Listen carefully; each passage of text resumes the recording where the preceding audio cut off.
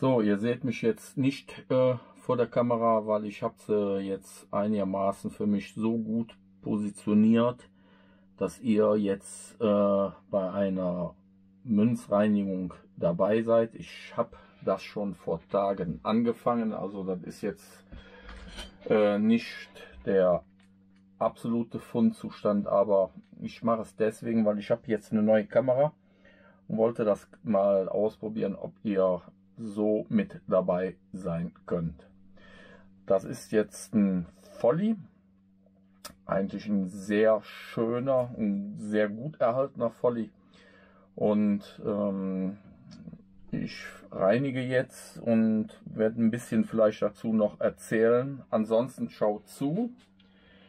Ich habe den Folly nass, wie ihr seht. Also der ist immer bei mir feucht, wenn ich ihn äh, weiter bearbeite, um eben, sage ich mal mal, besser den Dreck anzulösen, um zu sehen, was los ist und was äh, noch fest drauf verkrustet ist.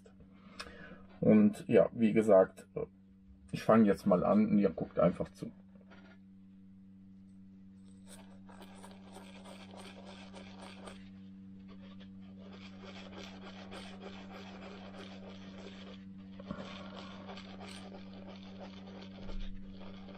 Also es ist wichtig, wenn er Zahnbürsten verwendet, so wie ich es auch immer tue, dass er ganz leicht drüber geht. Ihr seht es ja selber. Also nicht mit sehr viel Druck. Ein leichter Druck ist okay, aber auch mehr nicht. Es soll ja nur äh, den Schmutz anlösen und was, äh, sag ich mal, zu fest drauf sitzt. Deswegen arbeite ich ja unter dem Stereoskop äh, löse ich dann hinterher mit meinem geeigneten Werkzeug, was ich auch für die Reinigung selber herstelle. Und ja, das äh, andere würde eigentlich nichts bringen. Man könnte jetzt natürlich auch, ja klar, wenn man fester reibt, geht natürlich auch mehr ab.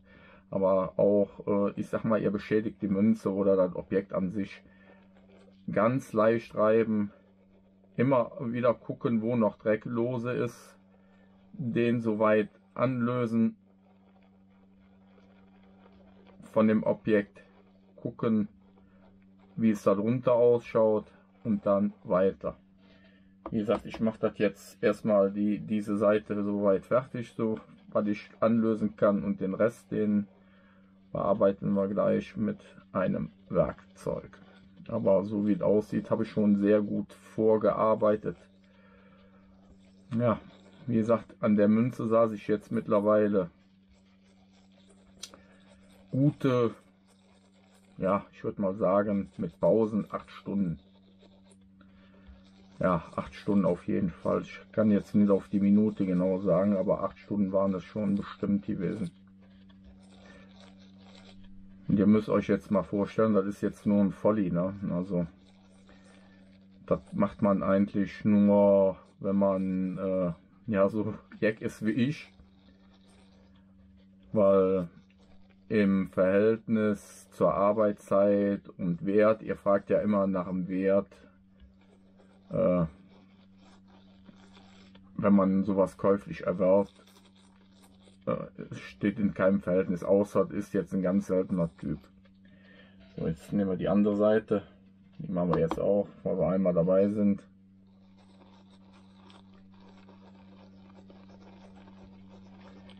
Vorsichtig anlösen. Wie gesagt, den Rest hinter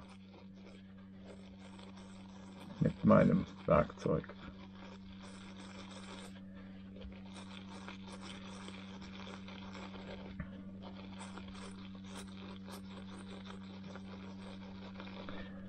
Das Schöne an der Münze, das war ein Folly, der eine, eine leichte Versilberung drauf hat. Oder hatte. Vielmehr. Die ist jetzt runter.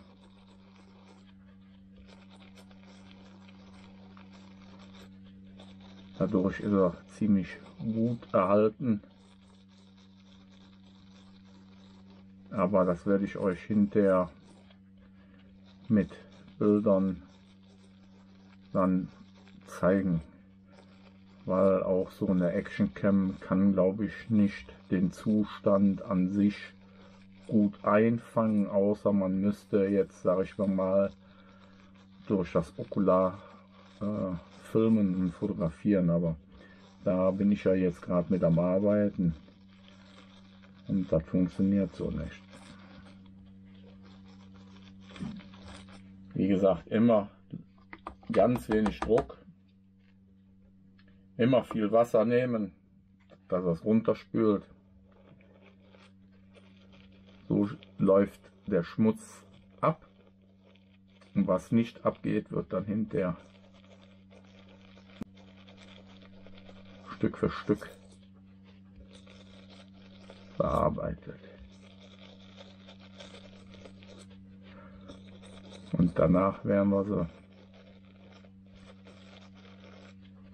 noch konservieren. Also das ist wirklich mal ein, ja ich sag jetzt mal wirklich ein Top-Stück, was ich hier habe. Also ihr könnt das jetzt leider nicht unter dem Mikroskop so sehen wie ich. Also total erhabene Buchstaben. Ja, ist alles wirklich sehr schön, kaum abgegriffen. Also ich glaube, die Münze, die war kaum im Umlauf gewesen. So, jetzt gehen wir hier mit. Jetzt nehme ich hier mein eine Nadel ich nehme jetzt kein Skapell, bewusst nicht, weil die Nadel ist vorne feiner, was heißt feiner, also spitzer nach unten hin. Ich möchte jetzt nicht die Patina beschädigen oder dergleichen. Der Schmutz, der sitzt ziemlich leicht, also ich brauche auch wenig Druck, nur man muss wirklich sehr vorsichtig arbeiten. Ich hoffe, dass ihr das seht wie ich hier arbeite.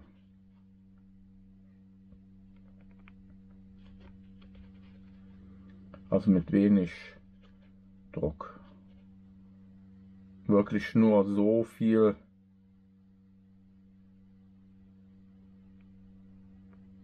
Dass man wirklich nichts beschädigt. Ich hatte ja heute einen Kommentar gelesen zu meinem Video zur Münzreinigung, äh, zur, äh, ja, zur Reinigung der Silbermünze mit anschließender Patinierung. Da hat sich ja ein, ja, ich sag mal ein Abonnent, denke ich mir mal, oder ich sag mal, ich habe ja den Kanal freigeschaltet, ähm, darüber moniert oder vielmehr, was heißt moniert nicht, nein, er hat äh, seine Bedenken geäußert, dass ähm, wenn man Münzen schrubbt oder abreibt oder mit Chemie behandelt, dass der Wert einer solcher einem solchen Objektes äh, äh, dadurch fällt. Das ist soweit richtig, da hat äh, die Person vollkommen mit Recht. Nur wie gesagt, ich mache das schon ein paar Jahrzehnte. Ne? Also ich möchte mich da nicht, äh, sag ich mal, auf die Schulter mitkloppen. Also wie gesagt, ich mache das schon fast 40 Jahre. Ich habe es auch für Auktionen gemacht. Ne? Also das ist nicht so, dass ich das hier, sag ich mal, mal aus Larifari mache und euch hier oh, einen Mist erzähle. Also wenn man es kann, steigert man den Wert. Dadurch äh, äh, verringert sich nicht der Wert. Ein Wert ist im Sinne eines Betrachters, dass, wenn die Münze im guten Zustand ist oder in einem sammelwürdigen Zustand, ist eine Münze verschmutzt oder verkrustet, dann ist sie nicht im sammelwürdigen Zustand, weil sich kein Münzsammler, und das könnt ihr mal glauben, kein Münzsammler eine verkrustete Münze hinlegt und sagt, ja toll, die ist sehr selten. Klar, wenn sie selten ist, legt er sie sich auch hin, aber das ist ein Belegstück. Aber ist sie gut frei präpariert, ohne Beschädigung. Wir reden jetzt ohne jegliche Beschädigung, die man da reinmacht, dass man die Patina zerkratzt oder abplatzt oder mit Chemie so arbeitet, dass ähm, Poren entstehen. Das ist klar. Dann äh, tut man den Wert der Münze vermindern. Aber deswegen mache ich ja jetzt die Videos und zeige euch, wie es eigentlich, ja, Matthias richtig, ich habe es auch nicht gelernt. Also ich muss euch sagen, ich bin äh, kein gelernter Restaurator. Ich habe mir alles selber beigebracht. Ich bin ein Handwerker und ich war wirklich ein ziemlich guter Handwerker in meinem Beruf und ich weiß, wovon ich spreche. Also wenn man vorsichtig umgeht, also ich habe bis heutzutage zwar auch meine Fehler gemacht und auch Sachen ähm, kaputt restauriert, aber das waren zu Anfangszeiten. Heute sage ich, ich steigere einen Wert eines Objektes, wenn ihr es restauriert habt. Also das könnt ihr mir schon glauben und wenn man es richtig anwendet, dann ist das auch so. Ihr werdet ja hinter die Münze unterm, äh, auf dem Bild sehen. Und da kann jeder sich äh, ein Bild darüber machen, ob das ordentlich gemacht ist oder ob das, ähm, ich sag mal, nicht ordentlich ist. Auch die Person, die ich hoffe, dass sich den Film auch anguckt und sagt, äh, das selber sieht, dass die Münze sehr gut gereinigt worden ist ohne Beschädigung. Hoffen wir es mal. Ich bin ja noch nicht ganz fertig. Mir kann ja auch was passieren. Also ich bin ja auch nicht fehlerlos. Also äh, wer das von sich behauptet, äh, der lügt. Also ich bin auch ein Mensch, der Fehler hat und auch mir passieren Fehler. Nur ich probiere sie so weit einzudämmen und zu grenzen, wie es nur geht. So.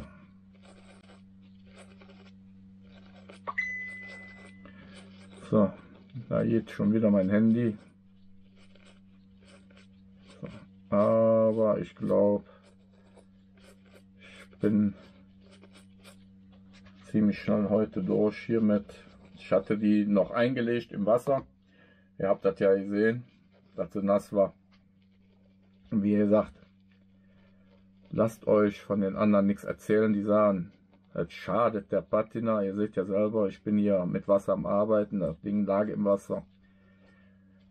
Also das ist jetzt absoluter Blödsinn. Außer es ist eine, ich sag mal außerdem, äh, es ist eine Bröselpatina oder so eine Schmierpatina. Wie soll ich das euch erklären? Wie so lehmartig. Wenn man drüber reibt, dass die so runterschmiert.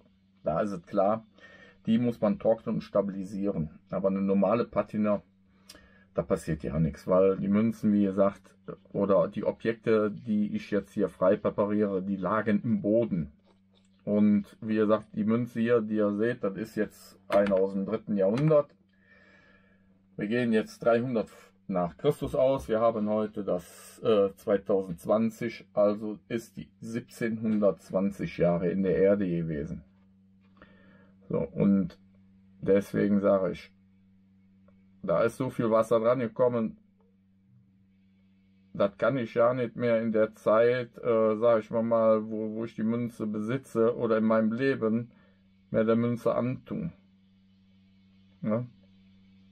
Also wie gesagt, lasst euch da nicht bekloppt machen von Leuten, die einfach nur was schreiben wollen oder irgendwas sagen wollen. Also, wie gesagt, umsonst sage ich euch das schon nicht. Und wie gesagt, glaubt es mir, ich weiß, wovon ich spreche. Und davon habe ich auch Ahnung. Wer mich kennt oder meine Sachen kennt, ich habe ja nicht, ich fange ja jetzt erst an, euch das Ganze zu zeigen. Viele kennen mich aus, ja, schon viele Jahre her und auch von den Stammtischen her und vom Treffen und wie gesagt, einige sind ja auch äh, bei der Archäologin, bei der Frau Tutlis, wo sie auch die Genehmigung haben. Und da können da mal die Leute fragen, äh, was die Archäologen über mich sagen und über das Restaurieren von mir. Also da brauche ich nicht mehr zu sagen. So, ist noch den Rest und das war es dann für die Münze. So, ganz leicht nochmal drüber.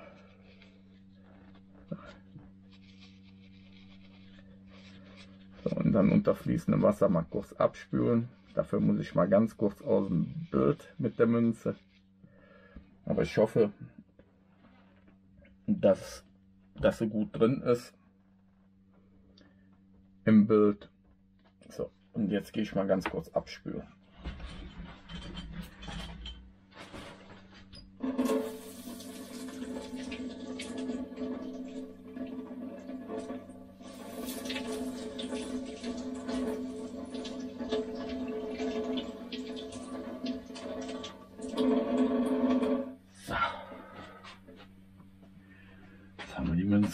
Fertig.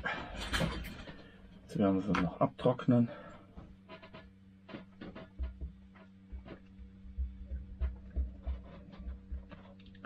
Ich werde mal hier den Platz ein bisschen sauber machen. Dann hoffe ich, dass ihr vielleicht seht. Ansonsten, wie gesagt, naja, ein paar Bilder. Aber wir machen müssen ja sowieso noch versiegeln. Ja. Versiegeln noch die Münze. Ich muss noch mal meinen Restblick machen. Ob das so in Ordnung ist, ob ich damit zufrieden bin. Ich würde mal sagen, die Seite ist sehr schön geworden kann ich belassen. Die andere Seite.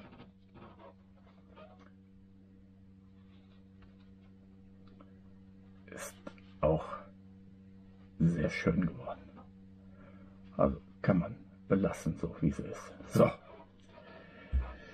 So, jetzt werden wir mal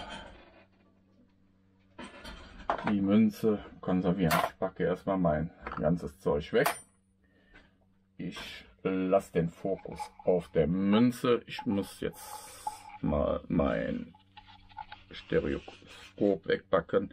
So könnt ihr euch noch mal ein bisschen angucken. Und dann werden wir sie jetzt gleich zusammen konservieren.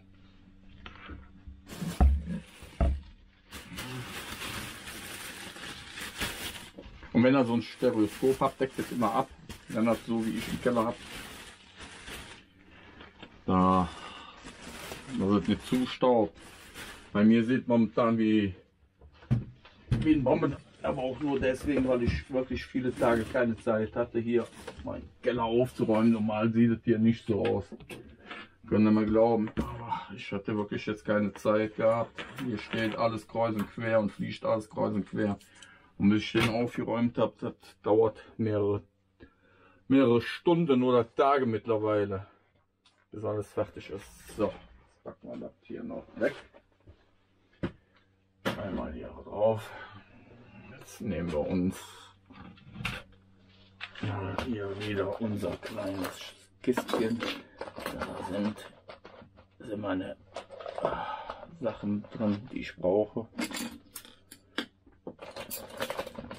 Einen Pinsel brauchen wir nicht. Dann nehmen wir einen Pinsel zum Wachsauf dran. Nein, nehmen wir nicht den Q-Tip.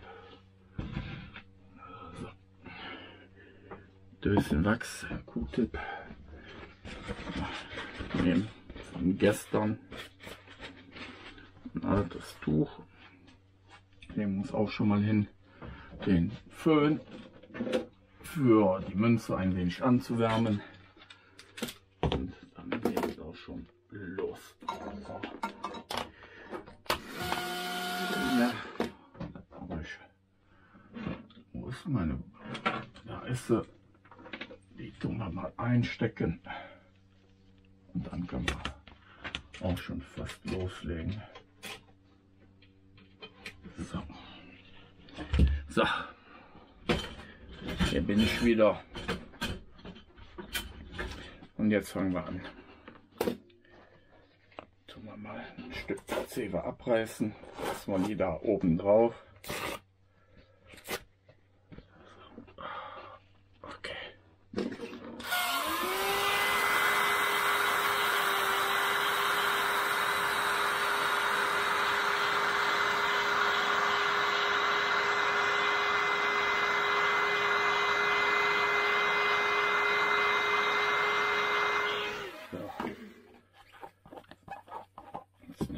Bisschen Wachs, tun wir ja auch noch ein bisschen anschauen.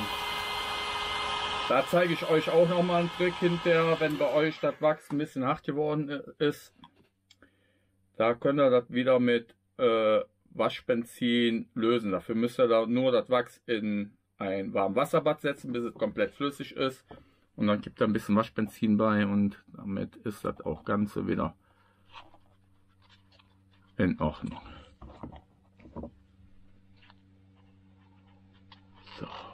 einer Seite. Ach. Tun wir mal ein bisschen anmachen.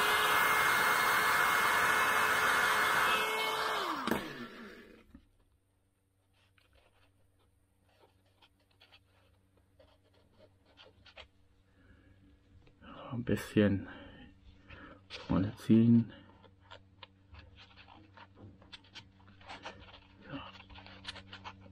Den Rand nicht vergessen.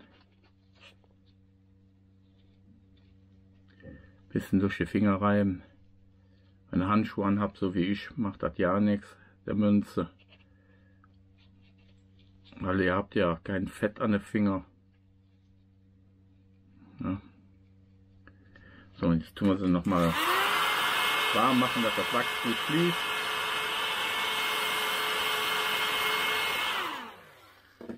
So, nochmal einreiben, was noch im Pinselchen ist oder vielmehr hier in dem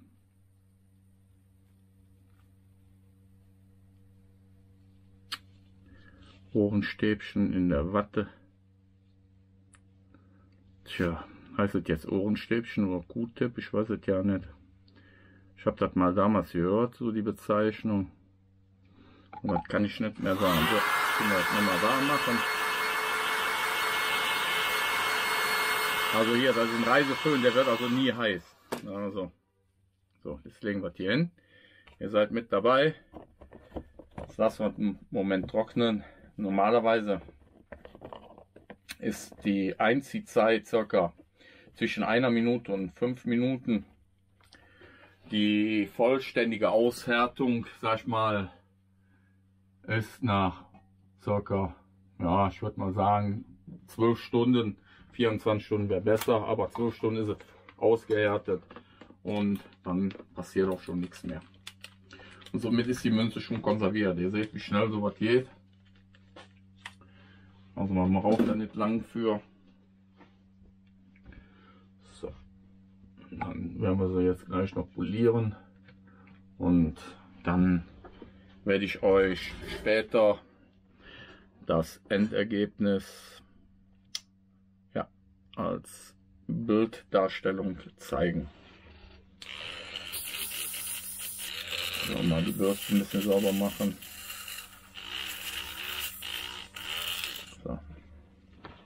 Und jetzt können wir schon mal anfangen zu polieren. Ist ja nicht viel Wachs drauf. Ich hoffe, dass ihr das seht.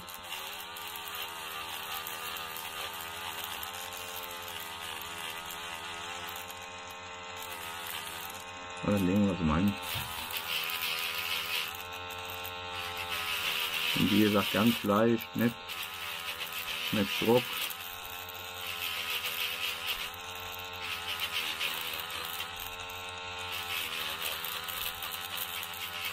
Ihr wollt ja nichts kaputt polieren.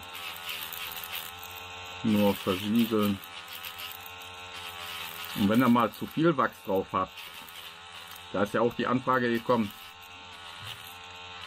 Manche Leute haben ja die Münzen dann weißlich oder weißliche äh, Ränder oder schimmert weiß. Das kommt dadurch, weil ihr zu viel Wachs aufgetragen habt und es nicht richtig runtergearbeitet habt. Da macht das einfach, ihr nehmt euch wieder einen Föhn, macht den an, haltet den mal eine Minute drauf, dann wird das Wachs flüssig. Nehmt ihr euch einen fusselfreien Lappen oder so ein Zebertuch, tupft die Münze ab, macht das ein, zweimal, dann ist das überschüssige Wachs weg und danach poliert das wieder. Und wollt ihr mal eine Münze komplett entwachsen, dann legt ihr sie einfach, macht ihr sie warm, nehmt euch Waschbenzin, oder Isopropanol, Alkohol, also was.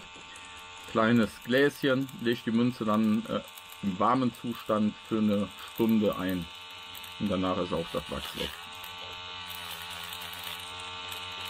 Also sollte das mal so der Fall sein, nur ich würde jetzt keine Münze, äh, sage ich jetzt mal, das Wachs runter machen. Ich halte mal besser fest, ich mag sowas ja nicht, wenn eine Münze runterfällt.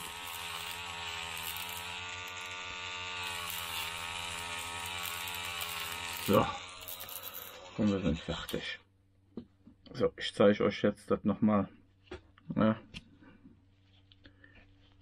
Na.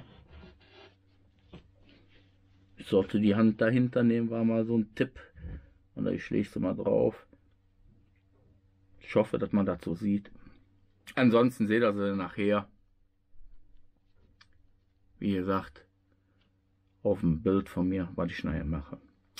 Und damit schließe ich jetzt hier mal so einen kleinen Reinigungsbeitrag zu einer Münze ab. Wie gesagt, wie versprochen, ich werde euch nach und nach auch zeigen ähm, bei Münzen, die ich gerade anfange zu restaurieren. Jetzt habe ich ja, wie gesagt, eine neue Kamera und ich hoffe, ich hoffe, dass ich so richtig eingestellt habe und ihr könnt alles sehen. Ansonsten seht es mir nah, ich muss noch mit der Kamera lernen. Also man hat nie einen zweiten Versuch. Ne? Also ich kann jetzt die Münze nicht wieder auf Urzustand, aber dafür habe ich ja noch andere Sachen, hm, die ich restaurieren kann. Das werde ich dann machen. Also bis später.